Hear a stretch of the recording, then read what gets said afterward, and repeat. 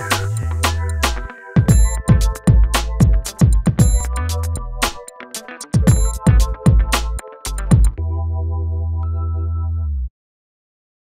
uh, you're with us here at Xtraordinary Women in Southern Suburbs. Um, I'm Nina Hill from Forever Living Products, the chapter leader here in the Southern Suburbs. Um, and I'm sitting here with Gretha Cronje today. For our, she was our July speaker. Um, and she spoke today about um, how our habits impact our business. And I just wanted to give her an opportunity to talk about how we maybe sabotage our business with our habits or the habits that we have. So over to you, Gretha. Thanks, Nina, and thank you for the opportunity You're to speak.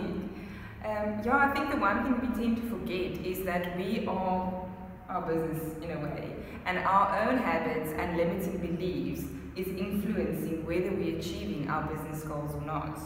So some of the ways are the inner critic, the critical thoughts in our mind that sometimes keeps us in our comfort zone. Uh, we also tend to think that self-discipline, we lack the self-discipline whereas research nowadays shows more about self-love. So how can we set goals from a point of self-love?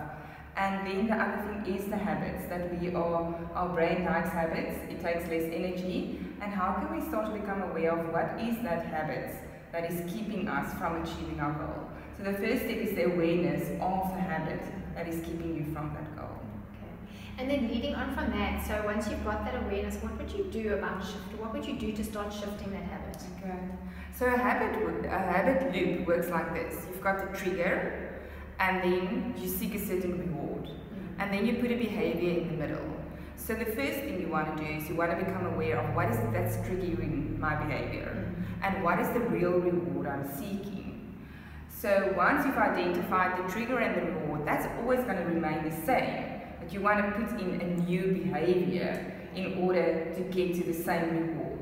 Mm-hmm. Um, so first, become aware of that, and with curious and kindness, explore that. Be a scientist, not a judge, and then start to unpack that and practice, practice, practice, practice the new behavior. awesome, awesome.